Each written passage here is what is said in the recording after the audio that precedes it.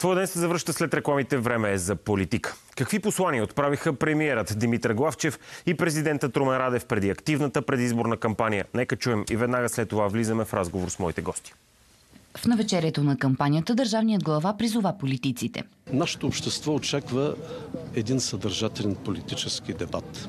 Очакваме по-малко черен пиар. Всяка партия трябва да заяви как вижда това бъдеще, как ще направи България по-успешна и защо иска властта. Защото обществото ни очаква от партиите конкретни отговори как ще се решават именно наболелите проблеми на обществото, а не тези на партиите. Апел дойде и от служебната власт. Да бъде честна и прозрачна кампанията, малко да по, понамалят градуса на напрежението, ма как? Кой съм аз задавам съвети на политическите партии? По думите на премиера на изборите, две в едно стои сериозно предизвикателство. От изборните протоколи ще бъдат обработени три пъти повече числа, отколкото на предишните избори. Което от сега трябва да знаете, че ще доведе до закъсняване на официалните резултати. Ще има ли черен пиар в кампанията? Как влияе той? В студиото коментираме с пиар експертите Десислава Олованова и Максим Бехар. Здравейте! Здравейте! Госпожо Олованова, от вас да започнем. Премиера Главчев предупреди да не се впускат политическите играчи и политическите партии в използването на черен пиар. Аз не съм сигурен какво означава точно това в нашата обстановка, имайки преди, че скандалите така че върват един след друг. Какво влияние оказа обаче на избирателите? По-рано в студиото говорихме за отвращение от изборния процес от страна на повечето граждани. А, да, много станаха изборите. Последните години ходим на избори като на море в общи линии, непрекъснато. Аз по-рядко ходя на море, да. Да.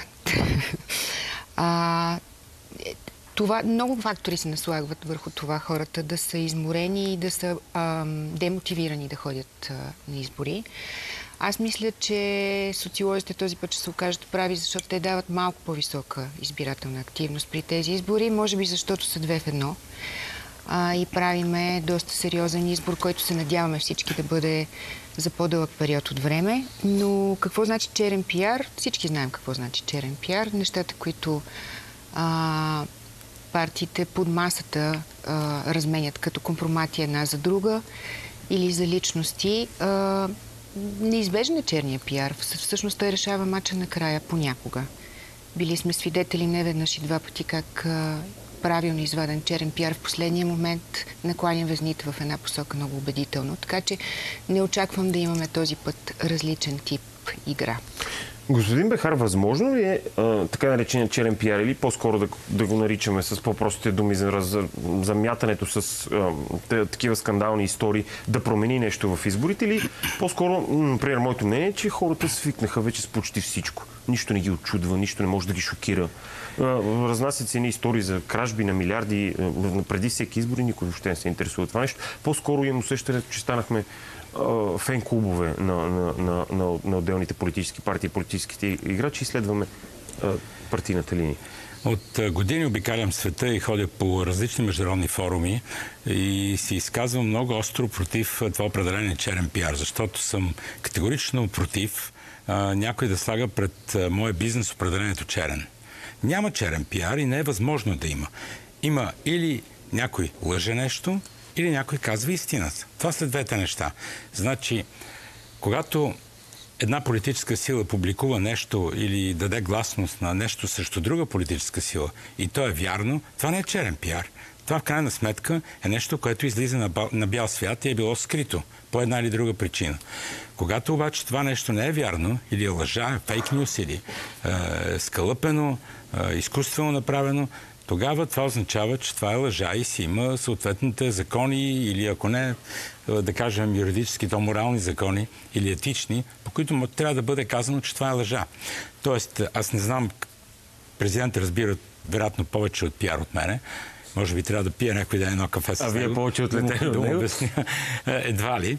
Но а, според мен за голямо съжаление, цялата кампания, тази поредна, мисля, че е шеста, ако са изборите две в едно, значи са шеста и седма заедно, две кампании, ще протече с по-скоро изтъкване на да кажем, недостатъците на другата политическа сила, отколкото предимствата на тази, която иска да привлече гласоподаватели. Казахте, че ако има лъжи, има законен начин, по който те могат да бъдат преследвани. Докато говорим за законност, нека само да чуем за една минутка вътрешния министр Калин Стоянов, който говори за предстоящия вод и очакваните нарушения.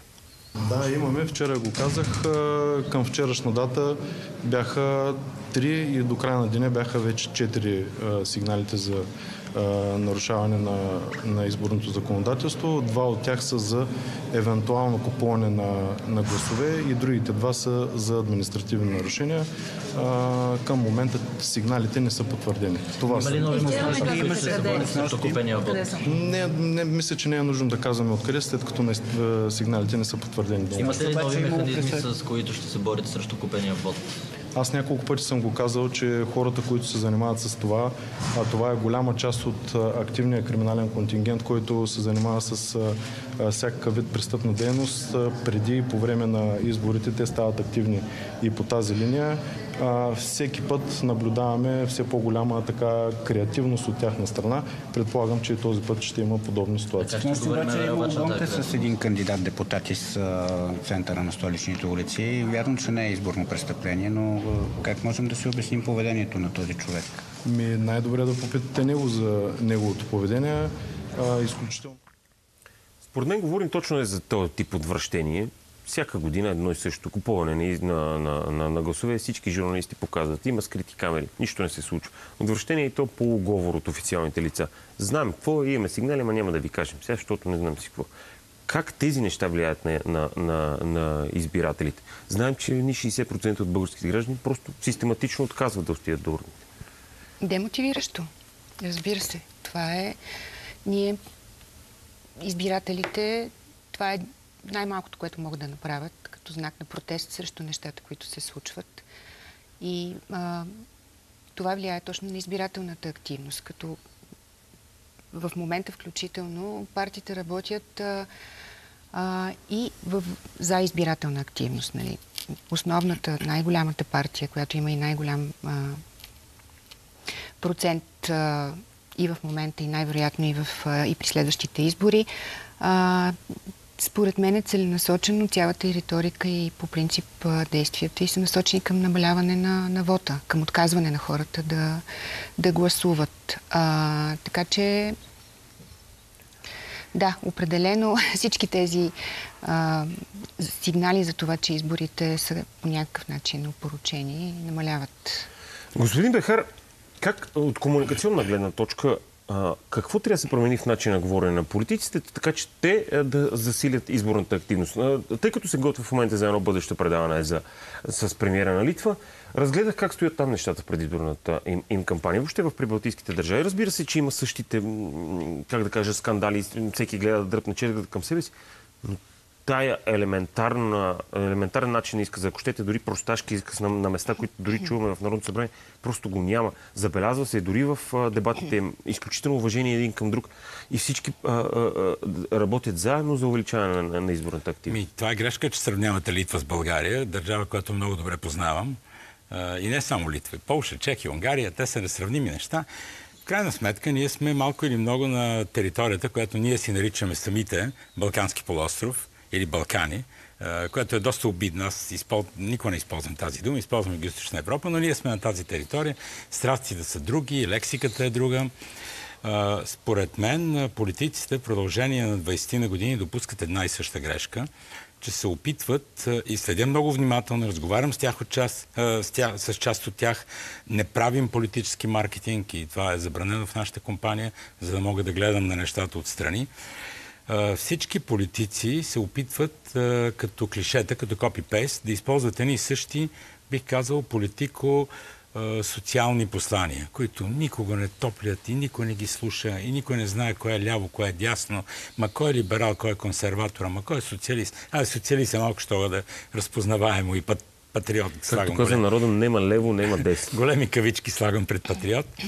Докато 2024 година, тъй като вие водите едно прекрасно предаване за бизнес в нова телевизия, ще ви кажа, че никой не споменава а, нищо конкретно за финанси, за бизнес, за това как ще се развива България, защото България е в криза И няма смисъл да казвам на нашите зрители, които, вашите зрители, които всеки ден ходят по магазини, по ресторанти, виждат какво се случва. Има огромно количество пари в населението. Това дига инфлацията много, много рязко и дига цените навсякъде, прави покупателната способност относително балансирана, обаче за сметка на многото пари в населението. Тоест няма политическа партия, няма политик, който със своята харизма, слагам харизмата на първо място, защото всичките, като ви гледам така един, това и почнах да не ги различавам вече айде, по послания. Един с очила, друг с мустаци, трети с брада. Това обаче посланията. Аз му казвам кардиашиянизирането но... на българската политика, защото но... малко като ние сестри в САЩ. Няма ли това един харизматичен политик, който да сложи на масата няколко конкретни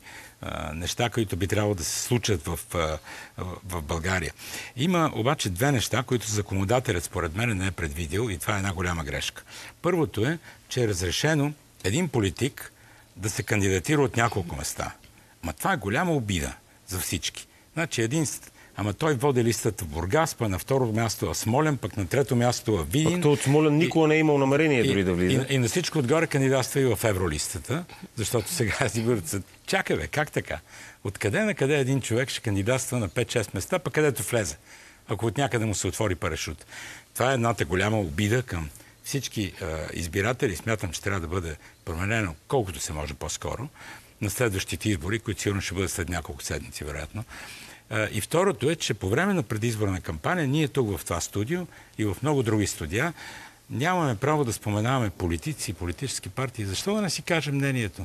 Нали, затова има хора, които е, дискутират, е, имат е, своето мнение това не е нито пропаганда, нито ще по някакъв начин ще би накърни. трябва точно в този един месец най- най-така активно да говорим за политика, за постижения, и, за успехи и така нататък. Ако тези две неща ги оправим и се появи един усмихнат, млад, интелигентен човек и каже консерватор, такъв много, много консерватор в, в бизнес смисъла, и каже, вижте сега, ние трябва малко да стегнем коланите. Е, примери един вагон от Балцерович 90-те години в Полша, е, през е, Клаус в Чехия, кой ли не. А, госпожо Ованова, това е много важно според мен, което каза господин Бехар, за липсата на конкретика в изразните средства на, на повечето политици. Сега има един нали, много любим израз. Ние ще премахнем корупцията, ще доведем инвестиции. Само, че липса въпроса, а, отговор на въпроса как. Ако, вие отидете, ако ваш клиент дойде и вие кажете, като пиар експерт, ние ще издигнем вашия бранд на друго ниво, то е първото нещо, което ще ви пита е как. Ако не му отговорите, той ще продължи да бъде ваш клиент. Ще тръгне. Да, така е това, го нари... това се нарича uh, wishful thinking, когато казваш, че ще направиш нещо, но не казваш как ще го направиш. А и за аудиторията този, uh, това обещание обикновено изглежда доста нереалистично. Значи, uh, Особено това, това личи а, при изборите за местна власт, когато ни заливат с обещания. Естествено, ние знаем, че когато бъдат избрани тези политици, няма да свършат абсолютно нищо. Но а, освен, че а, така, а, комуникацията е абсолютно обезличена и всички говорят едно и също. Аз наблюдавам и нещо друго, което е много интересно. А, те някакси комуникират огледално. Не просто комуникират безлично, комуникират огледално. Двете най-големи партии в момента а, правят едни и същи неща в а, огледален режим. А, имахме пачки, появиха се пудели, които носят пачки. Имаме млади лица, които са по-спретнати, по-красиви, по-европейски изглеждащи от едната страна. Другата страна извадиха такива хора. Имахме протести срещу, а, които Имам в София бяха най-мощни. А, сега Виждаме, че друга партия успя да извади спонтанно хора във връзка с градски проблем, който се случва в София, но успяха да направят... Съвсем други въпрос е как е възможно да имаш изваждане и спонтанност едновременно. да, но въпросът е, че това, което наистина прави впечатление, е, че а, абсолютно огледално се правят едни и същи неща, с обратен знак, разбира се, а, което работи. което им върши чудесна работа. Въпроси към двамата. Осъзнават ли българските политици, лидерите на политическите партии, от какво се интересуват наистина хората преди избори. И въобще от какво се интересуват хората. Преди го по-рано през деня говорихме от какво се интересуват европейските граждани за европейските избори. Дали е миграция, дали е економическа обстановка, дали е културно и социални въпроси. От какво на първо място се интересува български народ и въобще политиците интересуват ли се от това? И българския народ се интересува от това, от който се интересува всеки един човек на планетата. Да живее по-добре, да има по-добра заплата. Аз в рамките на шегата ще ви кажа моята теория, че в България на хората не достигат три неща. И това е една стая в апартамента, хиляда лева към заплата и един ден да свършиш работата. Това е в рамките на шегата, разбира се. Но а, драмата е, че дори да знаеш кой от какво се интересува или кой какво иска или какво би желал, няма концепция, която да покаже как това нещо може да бъде постигнато. Тоест, липсва система на контрол. Някой може да обещава какво си иска и да дойде на власт и да не го направи. Примерно може да обещае, че ще увеличи пенсиите с 30% през следващата една година, като дойде на власт. Ако не увеличи тези пенсии или каквото и да е, или социални придобивки някакви, или бюджет за, бюджет за отбрана, или бюджетен дефицит, или каквото и да е обещал, ако не го изпълни, трябва да си отиде веднага, на секундата. Обаче няма такава система. Ако това се случи в бизнеса и едно CEO обещава да постигне определени резултати и след това дойдат акционерите и видят Excel файла накрая, че тези резултати не са постигнати, той си тръгва веднага. На секундата идва другия. И това е... Но това нещо в държавата не може да се случи все още, което означава, че политическата система не работи. За съжаление, ние трябва да да живеем в тази политическа система. И ако ние, избирателите, по някакъв начин, може би и законодателя, измисли система за контрол, която да бъде желязна, така че кой каквото обещае, след това да, щях да кажа, да си скъса мускулите. Западняците му викат да понесе политическата отговорност, пък може би и юридическата. Но, но, но преди това да направи максималните усилия да го свърши. Госпожо Лованов, вашето мнение по този въпрос? А, моето мнение е, че това, което каза президента на края на изказването си, че политиците а, в момента а, искат да влезнат в парламента, за да решат своите собствени проблеми и проблемите на партиите, не проблемите на хората. А, мисля, че малко повече ангажимент към, към избирателите и малко повече уважение към тях, което минава и през риториката, би могло да върне и вярата на хората в политиците. Тоест, мисля, че политиците в момента са а, така възможно най-лошия ролеви модел за хората и а, а, в тази връзка мисля, че а, избирателната активност пак ще бъде много ниска. Как да мотивираме избирателите да отидат до урните, имайки предвид а, материала политически, който разполагат пред а, тях? Какво бихте казали и двамата? Да речем на един 18 годишен човек, който за първи път има право да гласува, вижда какво се случи. Той израснал в денонощни политически разпри и мотивацията му е, е, е, е нулева. Как бихте мотивирали този човек да, да стигне а, а, до урните като финален въпрос към залата? Вижте, изборите са най-важното нещо в една демокрация. Добра, лоша, работеща, неработеща политическа система – с тези хора, с които ние разполагаме, не може да внесем политици, не може да измислим нови политици. Това са хората. И единственият начин е да направим а, своя избор а, по време на 9 юли на изборните урни и там бюра или както се казват, за да може да изразим нашето мнение. И смятам, че няма, няма, не е възможно човек да си остане вкъщи и да си каже, мен не ме интересува, и на другия ден, на 10 юли, на 11 юни, да излезе и да каже, чакай, защо ми е мръсна улицата, защо ми е ниска заплатата, защо това, защо това. Трябва, трябва да отидем и да гласуваме, каквото и да е нашето мнение, трябва да си кажем мнението. Не може да стоиш в една стая и пет души да си кажат мнението, а другите пет да мълчат и след това да недоволстват. И за това трябва да се съобразяваме и с... да бъдем прагматици, да се съобразяваме с тази действителност. Ако имаме по-добри политици, Супер, ще гласуваме за тях. Ама сега имаме това, което имаме.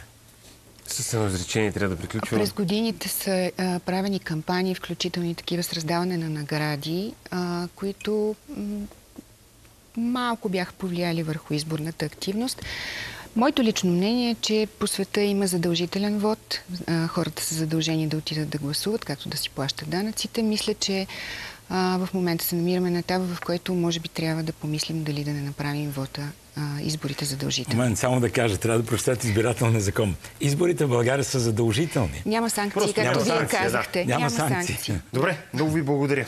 Пиар експертите Десислава Лованова и Максим Бехар ни бяха на гости. Опитахме се да, така, да, разпознаем по политическото говорене, начин на комуникация и какво да очакваме от тази кампания. Общо взето мисля, че стигаме и тримето да изведат, че нищо а, ново няма да се случи. Политиците работят и говорят по един и същи начин. А, едва ли разпознават желанията и, и интересите на, на, на гражданите. Всеки се опитва да се прави по собствения си начин. Нещо много важно от господин Бехар. Време е да помислим за премахването на възможността лидерите на, на, на листи да кандидатстват от две места. Това се случваме за втори път а, днес в това студио. М, изключително ненормално е да, да има водачи на листи в, в два града. Едните избиратели винаги ще бъдат излъгани. Реклама.